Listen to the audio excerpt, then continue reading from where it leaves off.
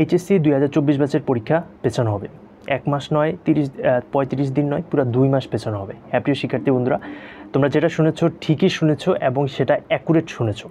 এবং এটা পিছাবে স্বয়ং প্রধানমন্ত্রী, শিক্ষামন্ত্রী বা শিক্ষা বোর্ড না। বিস্তারিত থাকছে ভিডিওর বাকি অংশে, তাই ভিডিওতে লাইক দিয়ে চ্যানেলটি সাবস্ক্রাইব করে বাকি অংশটুকু কন্টিনিউ করো। তো এখানে কাহিনিটা হইতেছে কি, আমি তোমাদেরকে বিষয়টা বুঝিয়ে বলতেছি।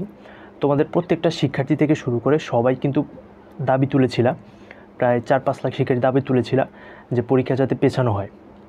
নাইনটি থেকে নাইনটি ফাইভ পার্সেন্ট শিক্ষার্থী চাও যে পরীক্ষা পেছানো হয়- যাতে।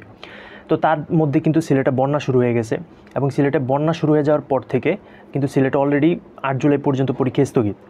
তো এখন যেহেতু পর্যাপ্ত সময় পাও নাই তোমরা এবং সিলেটে ওইদিকে বন্যা হইতেছে, তারাও কিন্তু কোনো একেবারে পর্যাপ্ত সময়ই পায়নি। এইদিকে গত এক মাস ধরে বন্যা, তারা কোনো পড়ালেখার মধ্যে নেই। তো শুধুমাত্র আট দিন পিছিয়ে তারা কী প্রিপারেশন নিয়ে কী পরীক্ষা দিবে? এবং তোমাদের এইচএসসি হচ্ছে খুবই গুরুত্বপূর্ণ একটা পরীক্ষা। লাইফের খুবই গুরুত্বপূর্ণ একটা পরীক্ষা। আবার স্বাভাবিকভাবে কিন্তু তোমাদের যেই পাবলিক পরীক্ষাটা আছে এইচএসসির পরে যে তোমরা ভর্তি পরীক্ষাটা দিব, ওটা কিন্তু সঠিক সময় হবে। তো তোমাদের সিলেটের পরীক্ষাটা কি হবে? যে পরীক্ষাগুলো স্থগিত, ওইগুলা কিন্তু হচ্ছে তোমাদের মূল পরীক্ষার পরে হবে। তো তোমাদের আবার মূল পরীক্ষার পরে কিন্তু তোমাদের আরও সময় যাইতেছে প্রিপারেশন নেওয়ার। কিন্তু ভর্তি পরীক্ষার সময়টা থেকে তোমরা পিছিয়ে যাইতেছো। ভর্তি পরীক্ষার সময়টা কিন্তু ঠিক সময় হবে। এই জন্য সবাই চাইতেছে যে সারা বাংলাদেশের পরীক্ষাটা পিছানো যায় কিনা। সারা বাংলাদেশের পরীক্ষা একসাথে শুরু করা যায় কিনা। এর জন্যই প্রধানমন্ত্রীর কাছে স্মারকলিপি দেওয়া হয়েছে এবং এটা খুব উচ্চপদস্থ কিছু কর্মকর্তা, কিছু মানুষজন দিয়েছেন এবং দেখা যাক এটা কী হয়।